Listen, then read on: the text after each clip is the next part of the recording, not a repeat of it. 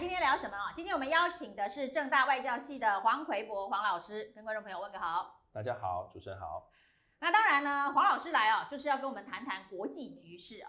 那国际局势当中，最近呢，民党政府一直说我们被美国邀请去参加民主峰会，这是一件非常重要的国际新闻哦。但是非常奇特的，这个国际新闻呢，在国内的报道量非常非常的低哦。大家都不知道唐凤去参加了民主峰会讲了什么，那肖美琴去参加民主峰会又谈了什么？这个美凤有约，可是台湾人都不知道这个约会内容是什么。那传出来的消息却是路透社的这一个独家报道，告诉大家说，唐凤在民主峰会的视讯画面被消失，被消失的原因是因为这张地图。那这张地图呢，据说是在这个民主峰会的彩排的时候没有出现在。唐凤要演讲的内容，但是呢，在实际上线正式举行会议的时候，地图突然跳了出来。结果呢，美国的国务院啊，接到了来自于白宫跟国安会的电话，要求立刻撤掉相关的画面。于是呢，唐凤还没开始讲，画面就被拉黑了。最后剩下的画面呢，是台湾的数位部部长唐凤，这个照片不见了，地图从此就消失。那到底是什么原因哦？那大家都还在追踪，到底是发生了什么事情？那到底是不是白宫国务院认为这张地图哦，造成了一个中国政策的被挑战？那民进党对这件事情怎么回应呢？民进党说呢，罗志正说这个不会影响台美的实质关系哦，只是拉黑一个画面，下掉一个地图，没什么关系。而且呢，这件事情本来就是美国，它对于两岸的议题，对于一个中国政策有它自己的框架。那如果我们知道美国有自己的框架，我们为什么要挑战在民主峰会美国的主场上面去突破它的框架？这是有默契，还是我们突袭人家？这个就是一个很大的问题啊！因为民进党政府整体来讲，像罗志正这样子比较有国际经验的啊，其实真的不多。所以你看，像刚才唐凤的那个画面，应该是踩到了美国的红线。这是美国的红线。为什么说是美国的红线呢？因为第一个，美国邀请台湾参加他的民主峰会，他其实是鼓起了很大的勇气。为什么呢？因为台湾跟所有一百零九个国家并列在他的名单里面，你说台湾是不是国家？我从总不可能说，就其他都是国家，其他都是国家，只有台湾是政治实体代表。台湾美国没有讲啊，没有讲是什么样的身份。但他把台湾跟一百零九个列在一起，邀请方。好，但是好玩的就是说呢。美国它的这个英文写的刚我刚刚讲就是邀请方叫做 invited participants，所以邀请参与者，所以邀请参与者是不是国家呢？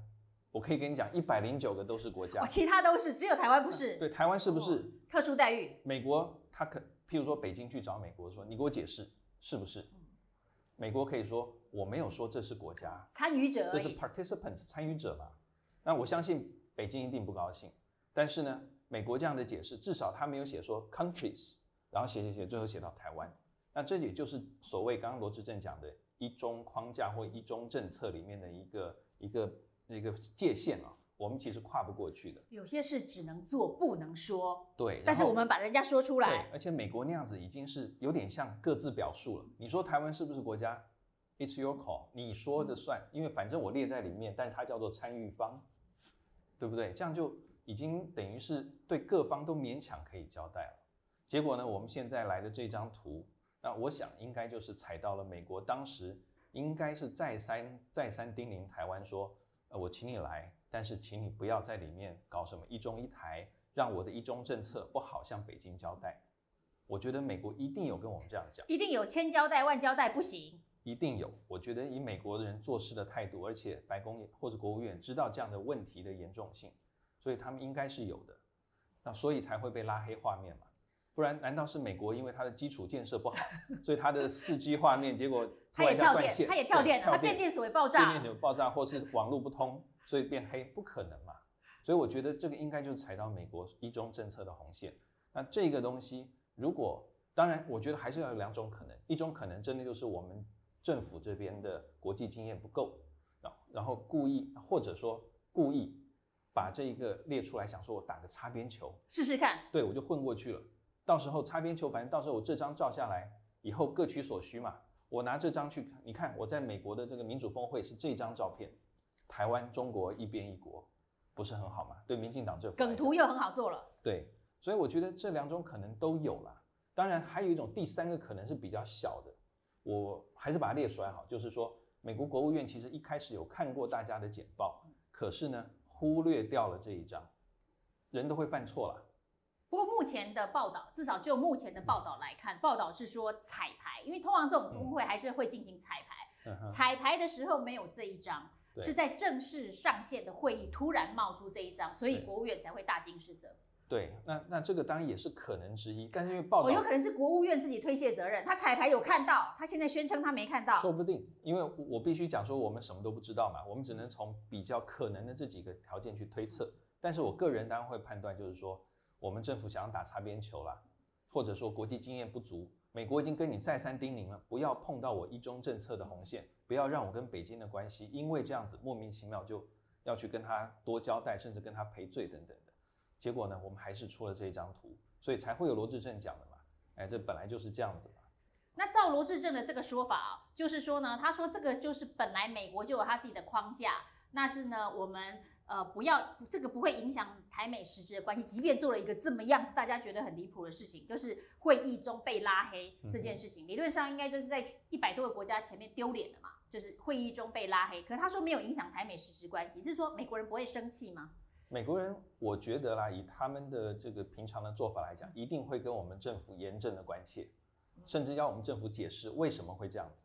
美国人应该会，但是解释完之后呢，下不为例嘛。但因为这个东西真的是一个，你说它大吗？你可以把它炒到很大很大，譬如说已经在挑战美国的一中政策。但是你说小嘛，你可以说，哎呀，就是不小心按错一个钮啊，不小心放错一张图等等的，就带过去了。所以罗志正讲说不影响台美的实质关系，我想他讲的应该是说，民进党想要通过的莱猪啦，啊，或者说台民进党跟美国要买武器啊，或者说美国继续口头上支持台湾的什么多元的、充满活力的民主，参与国际组织等等等等，这些当然不会影响。但是呢，我想承办的官员啊，免不了要免不了要受到 AIT 的关切，然后他们就必须要有一个这个妥善的回答。那那很明显就是因为让美国觉得不舒服，本来跟你讲说不要这样做了，然后事情你来就乖乖的发表演讲，然后就结束了，就没想到出了这件事情，而且还被路透社找出来。如果今天是台湾的本地的媒体，可能那个效果还没那么大。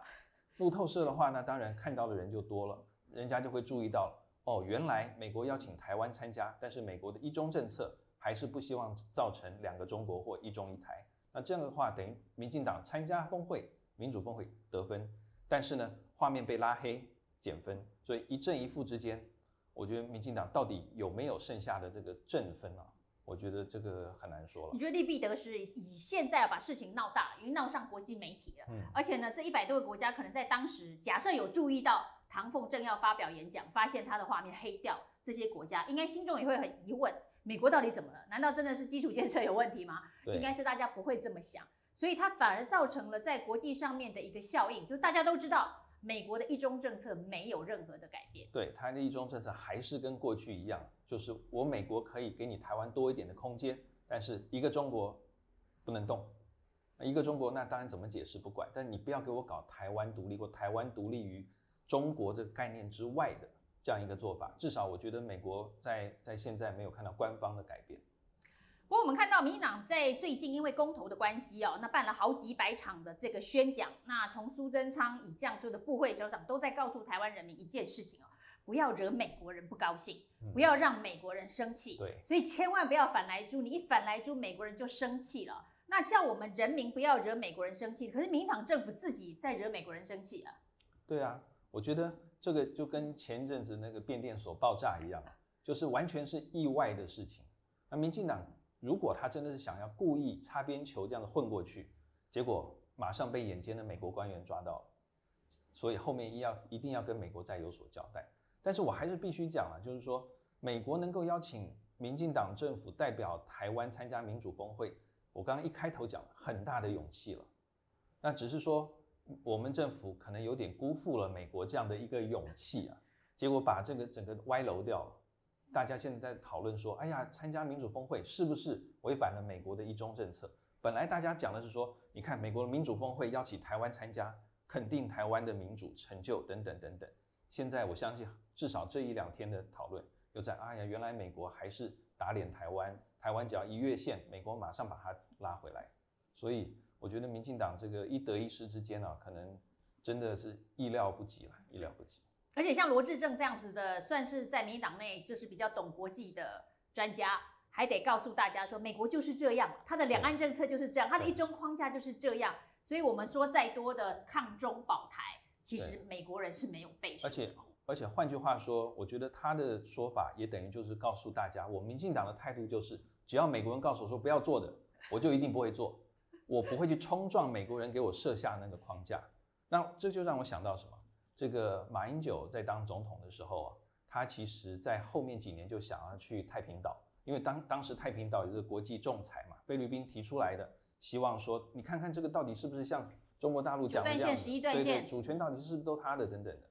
那当时马马总统呢想去太平岛，但是就是有传说美国人不希望他去，但是马总统在卸任之前还是去了，也就是说。美国人还是用他的地区战略角度想要框住台湾，但是至少我觉得马前总统他还有一，他有抵抗，他还抵抗到最后，我还是去了。你看吧，就是抗美，对，所以反美，所以才被贴一个反美的标签贴到现在。但是我觉得对中华民国国家利益来讲，这是应该要做的嘛。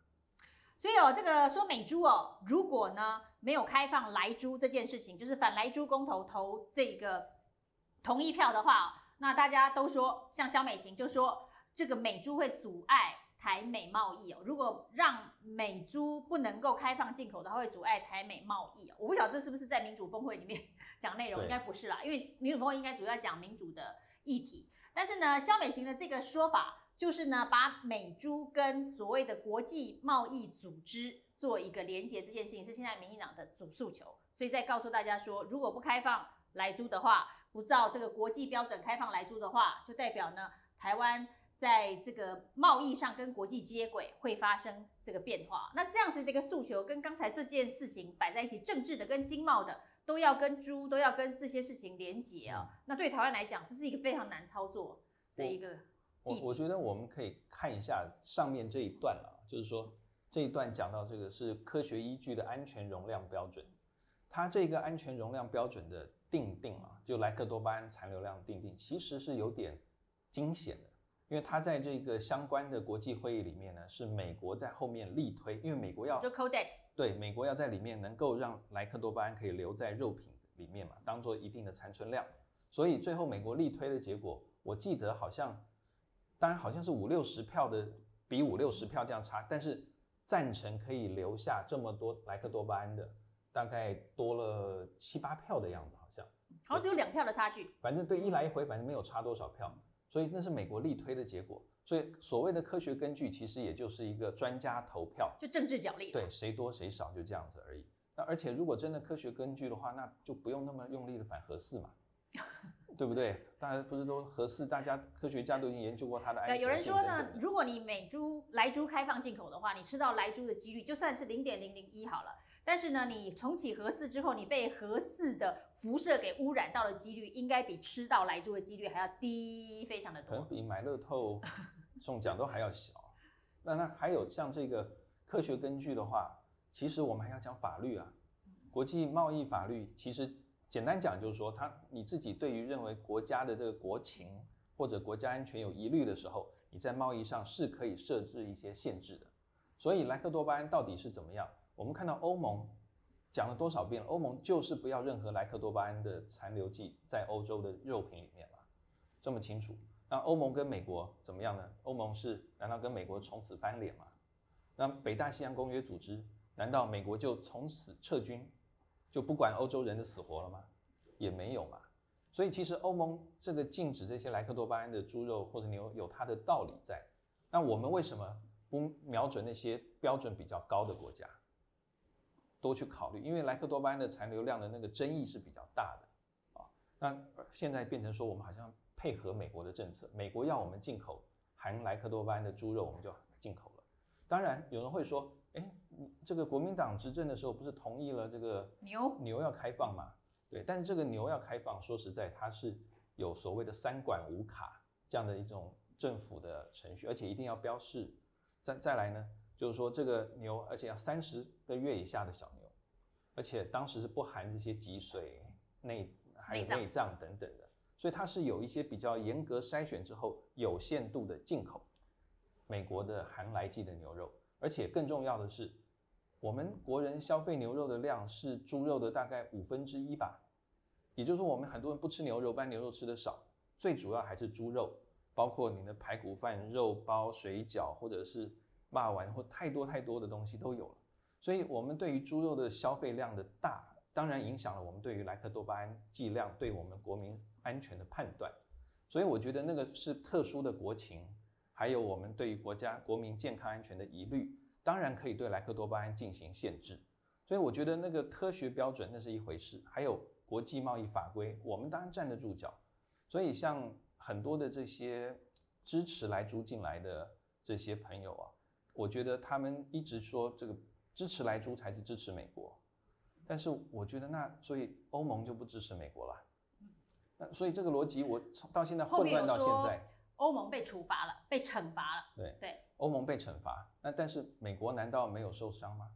一样啊，包括美国当时别的案子，他惩罚了欧盟的像 Cashmere 的羊毛，还有一些贵重精品，但是呢，美国消费者倒霉啦，他更买不到东西更贵，所以我觉得很多时候贸易的制裁或处罚，除非你真的踩到人家痛处，不然的话，其实常常会是这个双方都会有伤害。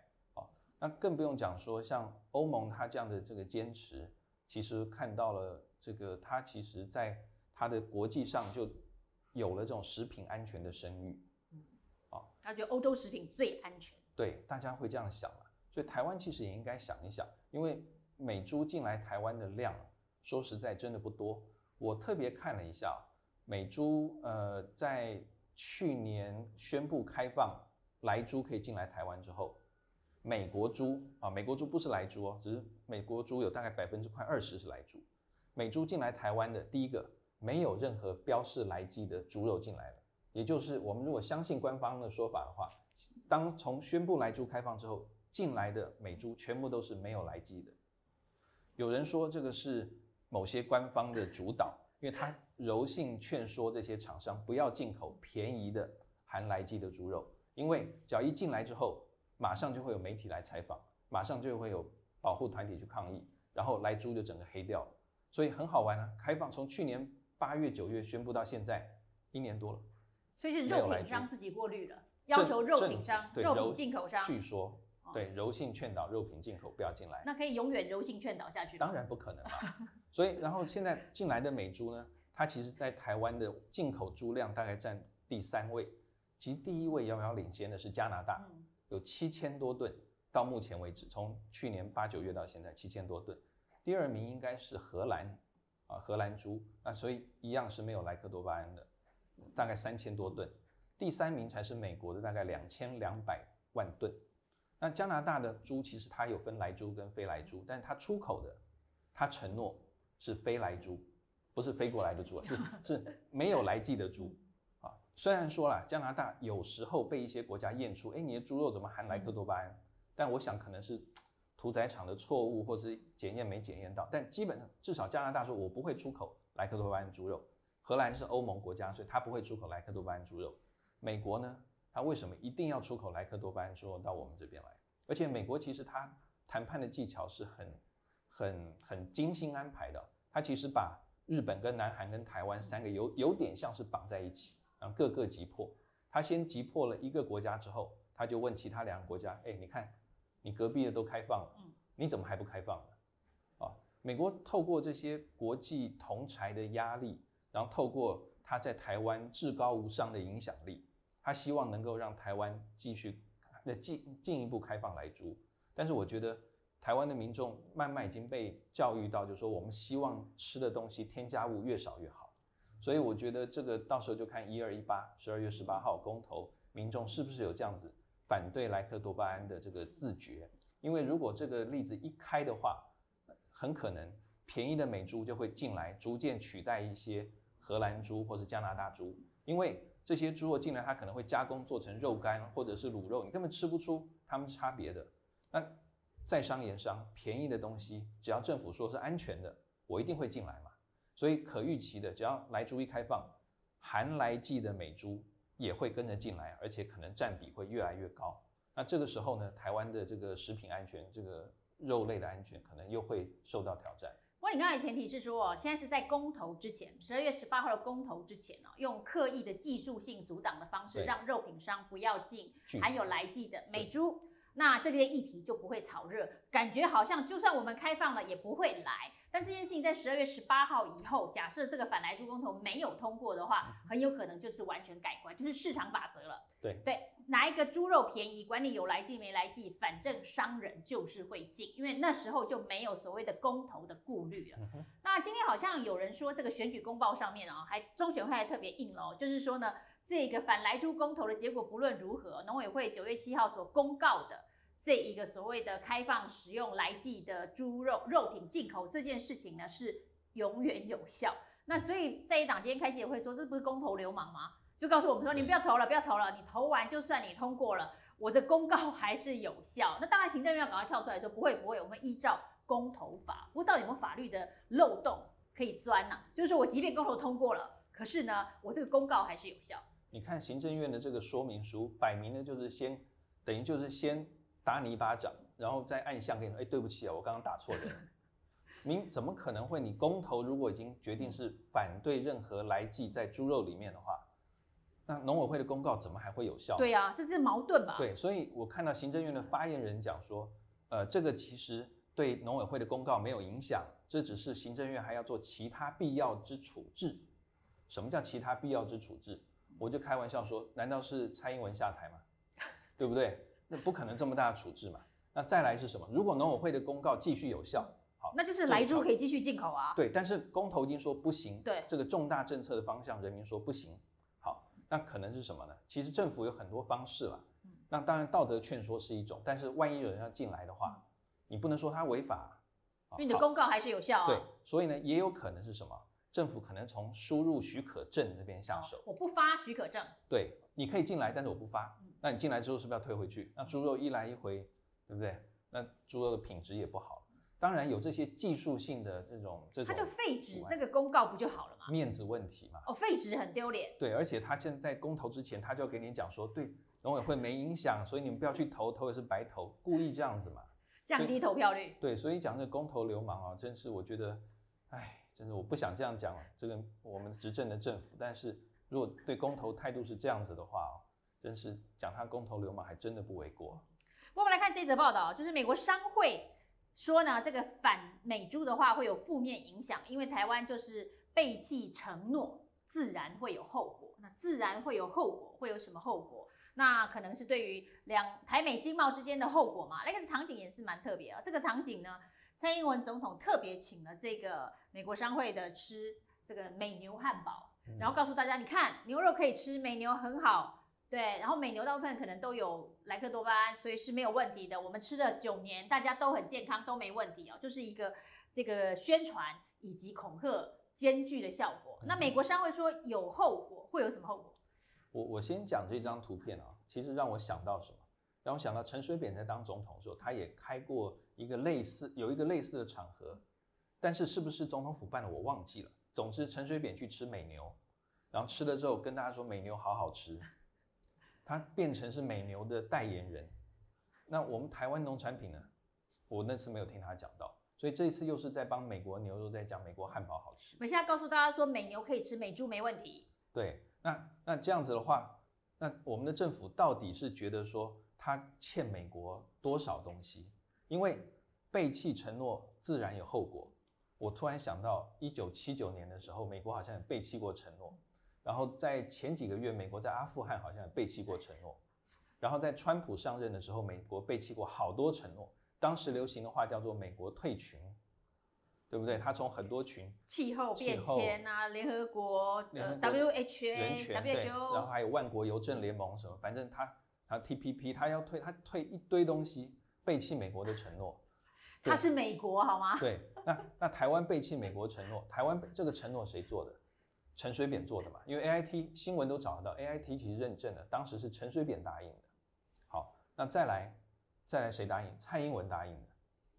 那所以你民进党自然要去处理。所以是民进党自然有后果，不见得是台湾有后果。对你不要民进党你自己乱做一个决策，然后把整个台湾人民拖下水，说我们跟美国为敌等等。没有啊，像我们留学美国的，我们很多美国的好朋友啊，AIT 我们也很多朋友，但是怎么会说我不接受来租，我就跟美国为敌？因为你当初去承诺的时候也没问过大家。对呀，也没沟通过，就突然承诺，突然就这样宣布了。对，所以。像这样的一种说法，我觉得就是绑架全台湾的人民啊，让大家觉得好像反对来猪就是反对美国。其实始作俑者是民进党哎，是民进党他这样做的。所以，我我看到这样的一种说法，我觉得这个完全是站在美国的那一方面去，等于是在在说服台湾的民众说，你们要相信美国，美国东西都是 OK 的，然后就接受来猪吧。我觉得有这样的一种说法。那那这些都是拿我们纳税人的钱的，他不是应该拿更高的标准帮我们把关比较好嘛？特别是我刚刚说过了，有欧盟的这个例子在前面的时候，他他说这不是食安问题，这是国安问题。我觉得他们执政快变成国安问题，明明是一个食安的问题，被他搞成国安问题。而且还有这个关税问题啊，这个陈吉仲举的是泰国。说呢，泰国呢没有开放来猪之前，还被美国做关税惩罚，所以后果指的是关税的惩罚吗？关税惩罚，那我们就来看啊，因为谈判哦，说实在，有时候权力的不对等，不是表示弱方就一定会吃亏的。我举一个比较远的例子美国跟沙地阿拉伯，大陆叫沙特，七零年代、八零年代在谈的时候，你沙特、沙地阿拉伯安全一定要我美国保护，一定要买我武器。可是当美国要原油的时候，沙地带着 OPEC 石油输出国家组织就站起来了，你要听我的话，原油价格在我手上。所以大家谈判是看议题的，我们先看一下这个猪两边的农产品好了啦。你说美国它硬要销给我们这么多的猪肉，因为美国在二零一九年，如果这数字没记错的话，美国大概销到台湾了几乎四十亿美元的农产品，包括畜牧业啊。台湾销到美国多少呢？六点多亿。换句话说，美国在农产品贸易上是对我们是严重的出超，它是赚我们的钱，所以在谈判上，各位觉得应该谁比较有有这个抗拒力？我们应该叫他多买一点我们的农产品，应该多买点台湾农产品嘛。还有另外呢，像这些猪肉的问题啊，为什么会影响关税？因为美国当然就是他给你乱报复，你不是不进口我的东西，我就报复你这些那些。好，但是呢，台湾难道没有东西可以跟美国谈吗？我们不是讲护国神山晶片？对你为什么？你报复我们，我就报复，不卖给你晶片。我晶片慢慢做，我就卡到美国，我就稍微卡一下关嘛。这个其实都是谈判上本来就会用的东西。美国跟欧盟也是这样，美国跟中国大陆也是这样，美国跟日本、美国跟南韩多多少少都有这样子。你看到日本跟南韩不是马上一讲话，双手一摊，放弃抵抗？没有哎，这些国家也是想办法跟美国，既然既然这个谈不完。我把这个跟你一起谈，然后大家货在里面交换，然后你拿多一点，我拿少一点，因为日本、韩国还是会吃亏嘛。但至少是人家是这样去努力的。我不像我们政府，如果政府这样做的话，第一个我们国际谈判不用交了，啊，第二个政府谁来做都可以，反正美国人跟你讲就做了嘛，就举白旗，举白旗。所以，我我常常讲说，请抵抗一下下，做一下姿态，让我们看你有抵抗。国际谈判一定要这样子。所以，我们美国要卡我们的关税，我们有别的东西，美国还是必须要依靠台湾的。当然，有人说：“哎呀，你要靠美国的保护。”那我们可以试试，要靠美国保护。对，我们可以试试看嘛。那如果台湾不进来猪，美国是不是就撤守台湾？也就是说，台湾再有什么事情，美国都不会来。我们可以来试试看，没有问题。这风险会不会很高啊？风险绝对很低。哎，朱金一说通过的会降低美国协防台湾国安的意愿。这可能就是经济学家跟我们念政治的不一样了。我看不出来这个来猪不过美国协防台湾的国安意愿为什么会降低？因为美国跟中国大陆在角力竞逐的时候，从来他没有考虑来猪这件事情。他其实不会，他为什么顾着台湾？你美国不都讲吗？台湾因为它的民主人权价值吗？世界的典范吗？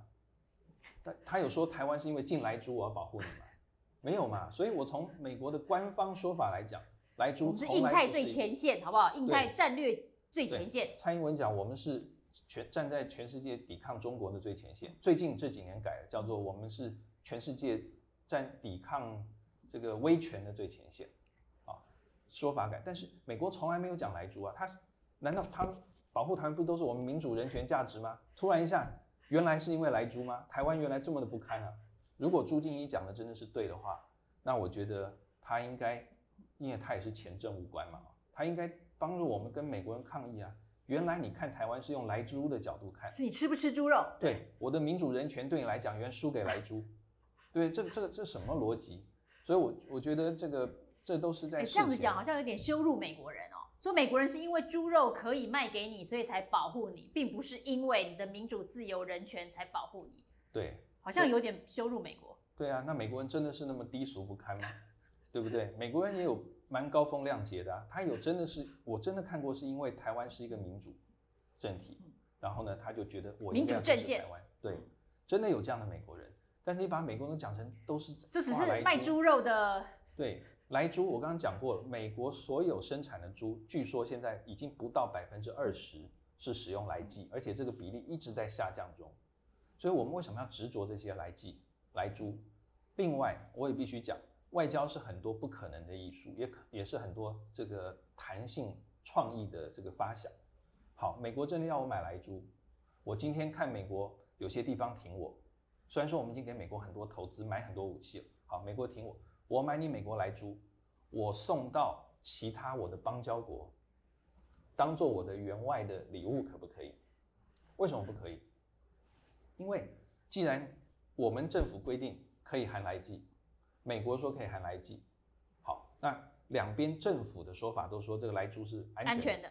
那我就买来之后送给我吃猪肉的邦交国。我们邦交国很多其实经济不是那么好嘛，这又这有什么不好？我一样买。美国不是在意说来猪有没有进到我们嘴巴里，他是我们有拿钱去买来猪，这是他在意的地方嘛。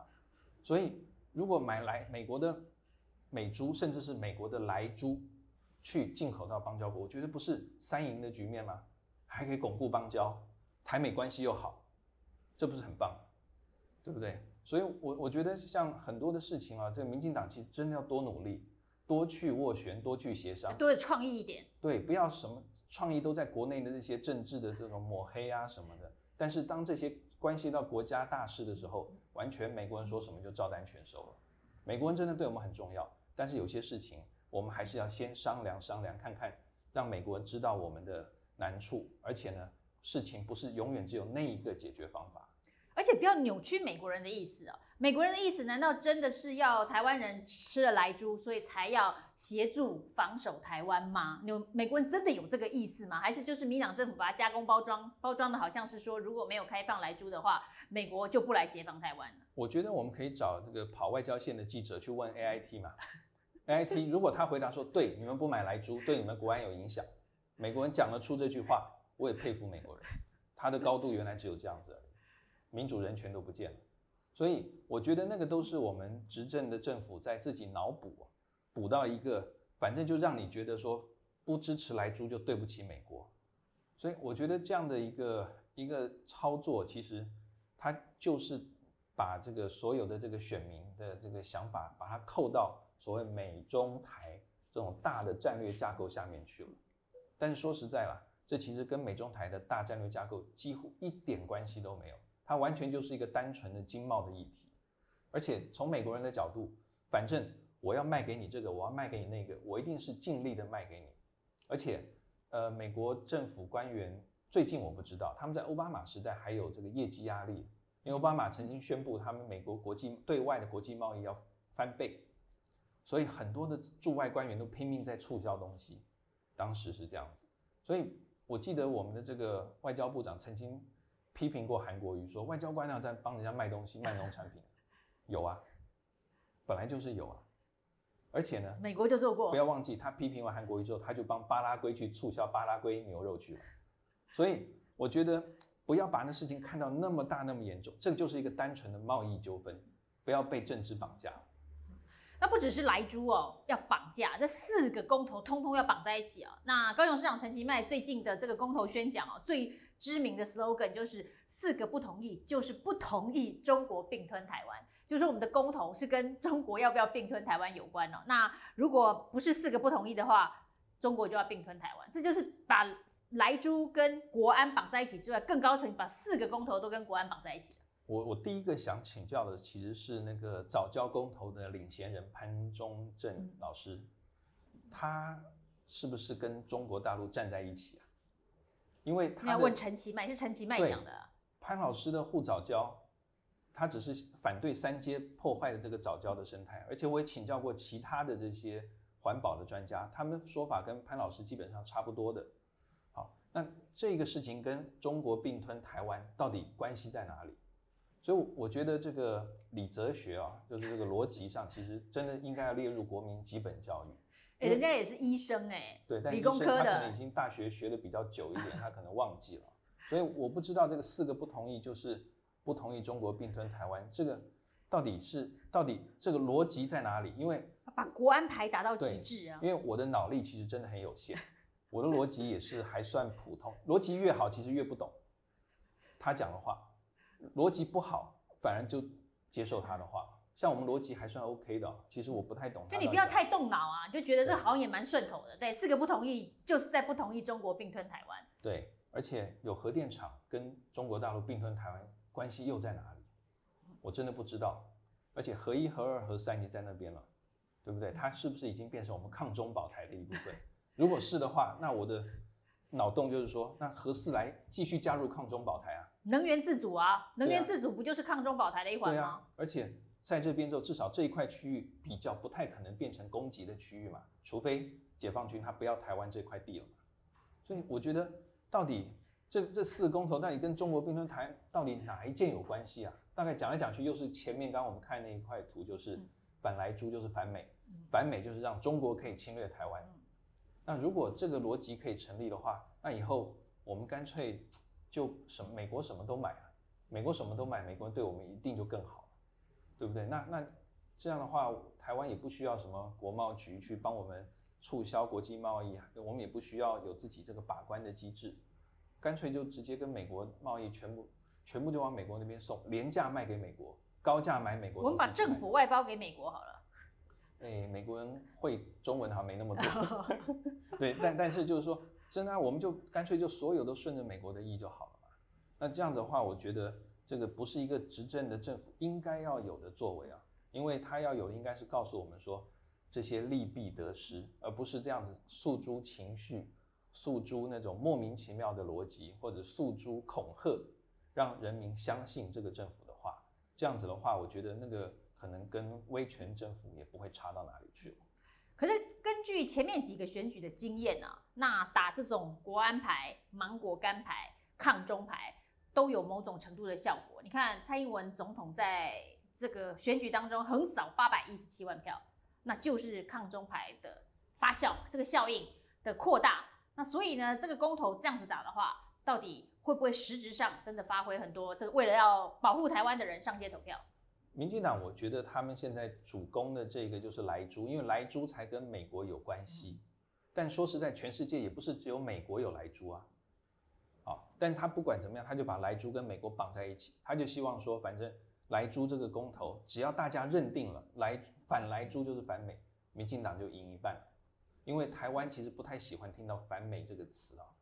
好，那那这样的一个想法会不会通过？我觉得一二一八是一个很难说的，因为现在看起来啊，看起来就是说莱猪这个议题有点冷掉了，虽然说冷掉了，但是呢，我觉得说大家并不会把莱猪反莱猪跟反美绑在一起，你就实安还是实安，国安还是国安，对，因为因为这这一个太小，但是如果今天我们把题目变成我们对美国加征百分之三十的关税。哎，这个跟反美就可以绑在一起哦，很明显。但今天只是谁会提这种公投啊？对，所以没有嘛。那再来，只是上成千上万项的这个品相里面的猪肉的，而且是含来剂的猪肉，没有含来剂的猪肉，我们已经进来了呀。本来就开放的，对，一直都有开放。对，所以只是这么多里面的一小项里面的百分不到百分之二十的含来剂的猪肉，这个跟反美扯上关系的话，那我觉得以后如果我以后去做访问学者，我不选美国的话，我也反美了。对你呼吸可能都有有可能对会踩到反美的界，限。所以所以我觉得这个民众应该大部分理智的民众应该知道，这不是跟反美有关系，这真的就是食安还有贸易的问题。好，非常谢谢黄老师今天为我们分析哦四大公投议题的政策内涵哦。当然，大家也可以好好的想想，十二月十八号这四个公投议题要如何的投票。但是如果要把这四个公投议题都跟中国并吞台湾画上等号的话，那真的是在逻辑学上面需要好好的重修一下哦。那今天非常谢谢黄老师，如果喜欢我们的节目的话，记得要加入会员。另外呢，订阅、按赞、分享、设定提醒收看的小铃铛。谢谢你今天的收看，我们再见。